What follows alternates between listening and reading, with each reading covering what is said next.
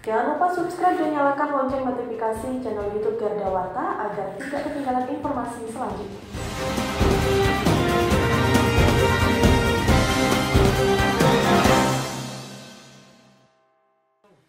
Anggota TNI Kodim 0832 Surabaya Selatan Jawa Timur mengantarkan obat gratis bagi warga terkonfirmasi positif COVID-19 yang menjalani isolasi mandiri.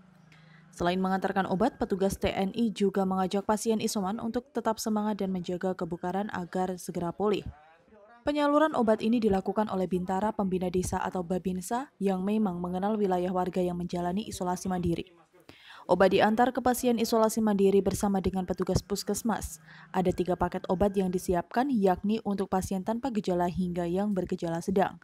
Obat-obatan ini akan dipasok secara bertahap sesuai dengan kebutuhan dari masing-masing wilayah.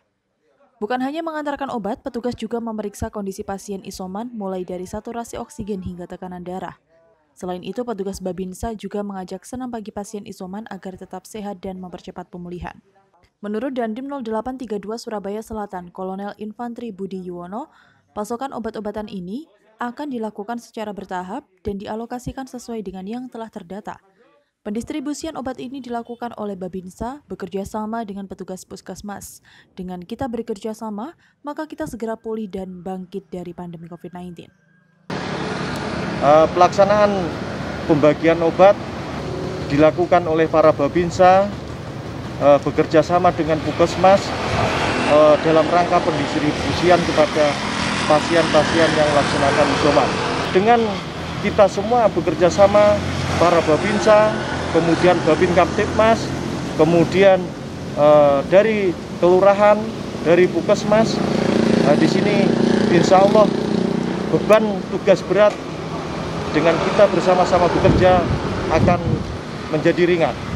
Apa yang kita perbuat ini akan berdampak baik untuk ke depannya sehingga COVID, wabah COVID-19 ini segera usai.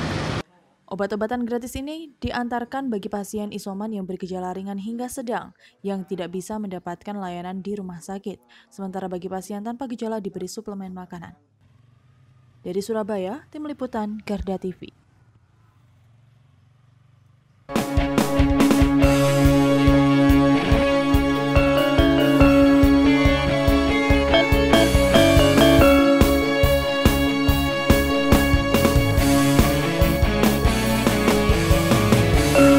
Revolution media